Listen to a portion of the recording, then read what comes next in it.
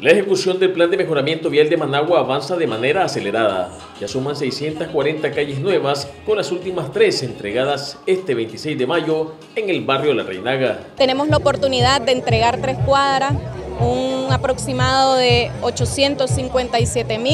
857.747 Córdoba de inversión como parte de ese programa emblemático de Calles para el Pueblo. Esta inversión mejora de manera significativa las condiciones de vida de los pobladores del sector, los que reconocen la atención que reciben de parte de la comuna capitalina. La alcaldía siempre viene a limpiar las calles, viene a limpiar los cauces, más esta temporada de lluvia y de antes de la temporada de lluvia, este, para que la basura no se acumule y no provoque inundaciones. Siempre está constante movimiento por estos lados del sector de la Reinaga esta calle van a vivir mejor?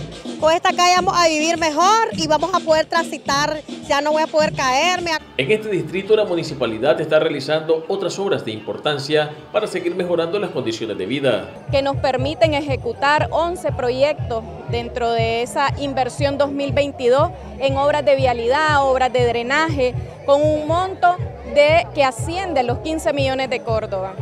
Asimismo hemos tenido la oportunidad en este mismo barrio, eh, La Reinaga, de seguir eh, transformando diferentes sectores y llevando esa, ese bienestar, llevando esa salud, llevando esa conectividad.